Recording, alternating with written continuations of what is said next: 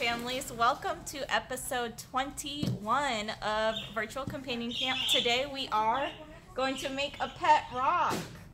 Okay, guys, I have a bunch of cool uh, some rocks over here that I already made. So let's get to it. All right, so the first one I'm gonna teach you guys how to make is a bumblebee.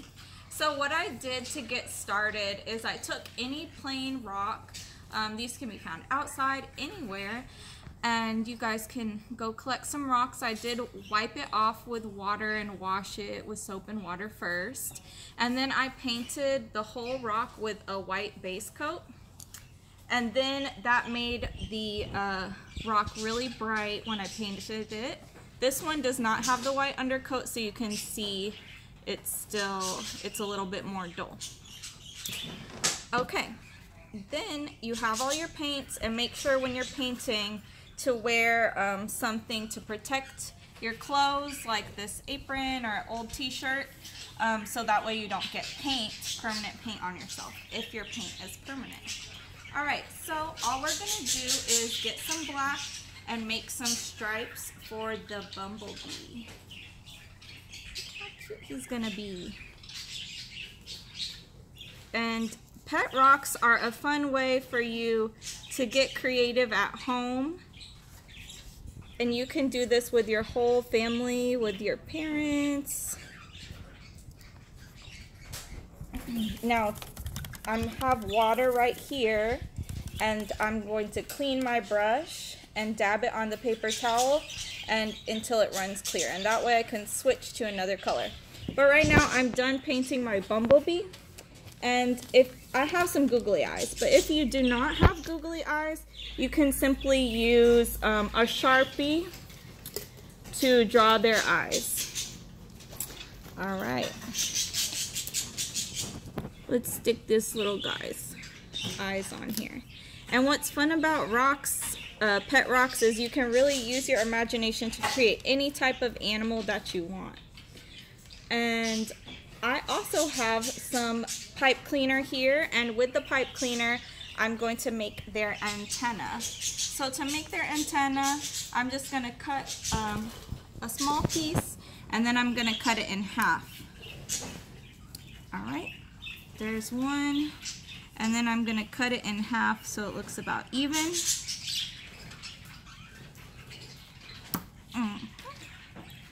And then I'm gonna curl the ends like this, like a little candy cane shape to make the antenna. So to attach the antenna to the bumblebee, I'm gonna use hot glue. If you um, want to use hot glue, make sure that you have somebody to assist you because remember it is very hot. So I put two little dots where I want the antenna to be and then I'm not even touching my finger close to the hot glue so I make sure I'm not getting burned.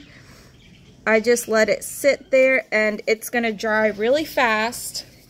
And that's the little bumblebee. Now to make bumblebee wings, um, you're going to get another pipe cleaner. And you can use the whole pipe cleaner. This time I'm going to uh, loop it together take the edges and twist them and this is going to secure them together. Now I'm going to take the opposite side, kind of make like a heart and then connect it down. To connect it, I place the twisted part over the middle loop and then I'm just going to bend it over one time, just like that. Oops, I had some black paint on me, and that's it. Those are the wings. Now to attach the wings, I'm just gonna make one dot in the middle one big dot.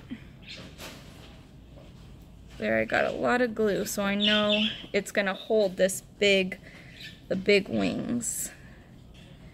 And there you have it. There's a little bumblebee guy. And this is so cool to play with. You know, it's gonna buzz around, zzz, drink some water, and go hang out with his other little bumblebee friend. Aren't they cute? And these make great gifts. I know Mother's Day is coming up.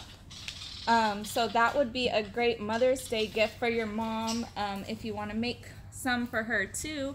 and she can put them, you know, on her desk when she goes back to work. All right, the next one I'm gonna make is this cool snail guy. Hello. All right, so I have another rock, and these are cool if you don't have a perfectly cir circular rock like this one. It would still make a cool um, snail shell, whatever angle you would like. So I took a piece of cardboard from a box. So here's a regular uh, shipping box. I just cut, uh, I just tore off one of these little flaps. I cut it in half. And now I'm going to uh, measure it to make sure that there's enough room for its head, like this. And so I know it's gonna fold about here. Now I'm going to draw where I'm gonna cut the eyes, where I'm gonna cut for the eyes. So I'll just draw one line right here. And then I'll draw two lines up and I'll know to cut down to make some cool antenna for this snail. All right. And if you need help cutting, don't be afraid to ask one of your siblings or anybody in your house for help cutting.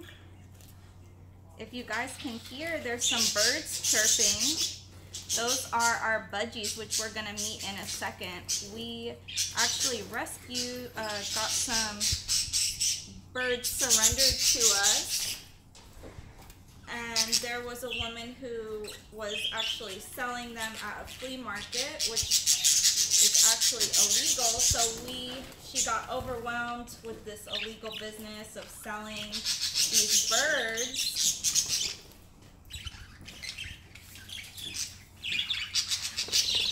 They're pretty cute.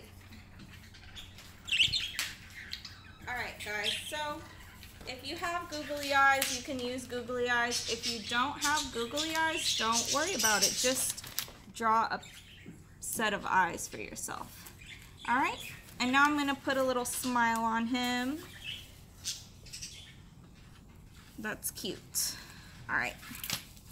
So to secure the snail shell to his body, I'm gonna put uh, some glue here and remember, if you're not using hot glue, that's okay, but you will have to probably hold the rock in place until it dries. And then I'm gonna do one more dot right here to hold the head up. And then you can decorate the snail's body or the snail's rock uh, shell however you want. And there he is. He's gonna join his little snail friend. And um, you could have even painted the brown cardboard first. I didn't.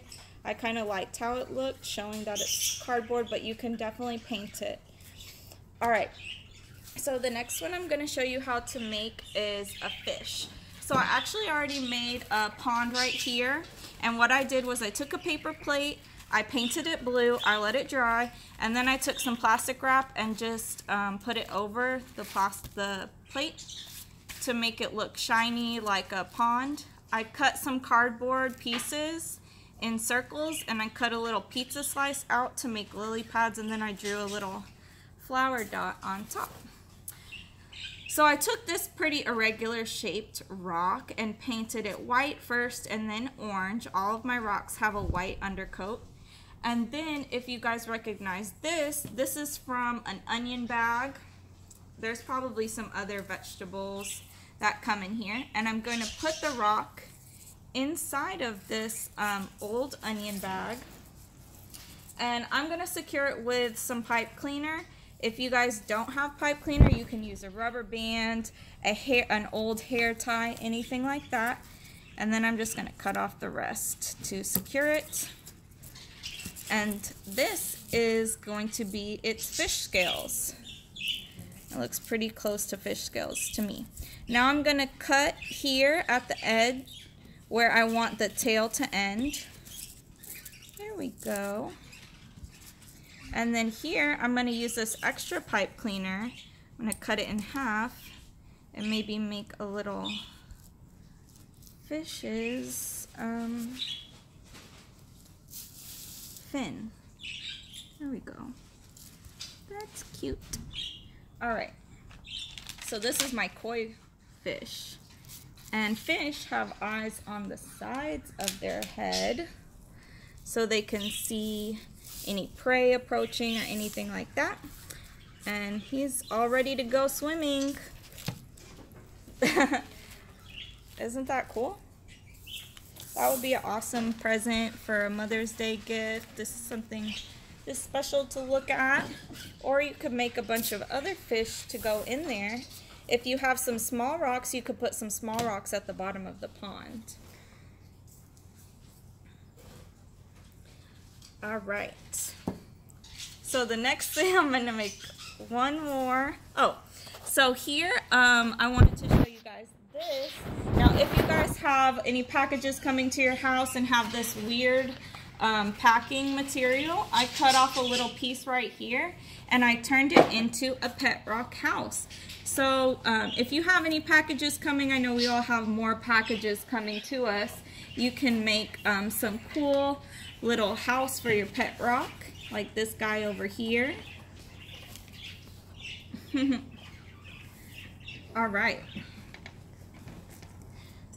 So I wanted to show you guys too how to make this cool little pom-pom uh, head. And it's really easy. All you need is some yarn. And then I have a, a good piece of yarn here. And what I'm gonna do is take my piece fingers, hold one end with my thumb, and then loop it around a bunch of times. All right, that looks good. Then I'm gonna cut it, but I'm not going to let go yet. I'm gonna take another piece of string and cut a small piece. With this small piece, I'm going to lay it out flat and then I'm going to place this uh, loops over it. I'm taking the edges and I'm going to tie a tight, tight knot in the middle. And then I'm going to tie a knot one more time. Okay. Next, I have um, some loops here on both sides. And I'm going to cut in the middle along the loops.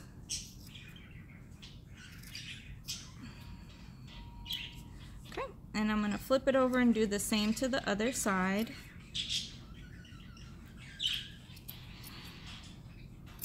All right, and there's my little pom-pom. So I could have made it thicker by um, adding a little bit more string and you can shape it however you want if you want to cut off some of the ends that are sticking out. Then you just take a dollop of glue and stick it on there and maybe give him a cool face. Let's see. If I can give him a cute little face. See? There, he's already. That's a cute little pet rock buddy. And they can all play together and can spend time, you know, making your own toys with the stuff you have right around your house. All right, guys. I hope you like making those cute little pet rocks. So now we're going to check out our budgies. These are um, small birds, which small birds are actually uh, categorized under uh, parakeets, and here they are. So we have um, over 80 of these tiny birds, and we have all different kinds of colors. They do come in a variety of colors, yellow, green, blue, and white. And if you look closely, um, you can identify looking at their nostrils at the tops of their beak if they're male or female. As you can see this white one right here, she has a pinkish nose and it's white around her nostrils and that is a female. The one in front of her with the blue body, he has blue color around his nostrils and that identifies him as a male. So if you're trying to see um, if these are female or male birds, you can just look easily and identify them by looking at their nostrils. This one right here is another female. She has white around her nose, and so does the other one behind her. And we rescued, like we said, um, over 80 of these budgies. And they were living in cramped cages, pretty filthy conditions, and were being sold illegally in flea markets. And you don't know when you're buying from a, a legal breeder how bad the conditions are, um, if they're going to be sick when you get them or not. Um, a lot of these birds that we have here are still relatively young and we can tell um, their age by looking at their nose color, um, which is great. So you can get a young little bird and these will live between five to 10 years. So they'll make a great little companion. Um, they should be kept in groups. So at least get two together so that they don't get lonely and they bond really well with their owners. So you can be able to take them out, let them crawl around on you, feed them seeds out of your hand.